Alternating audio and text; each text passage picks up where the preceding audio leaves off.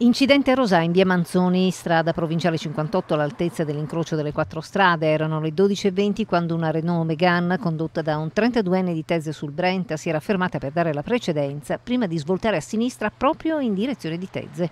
Da Cartigliano sopraggiungeva invece una moto BMW condotta da un 54enne di Marostica. L'impatto è stato violentissimo e frontale. Codice rosso per il motociclista subito trasportato all'ospedale San Bassiano. Illeso l'automobilista da stabilire ancora le cause dell'accaduto sul posto. La polizia locale nord-est vicentino, distaccamento di Rosà con una seconda pattuglia per regolare il traffico.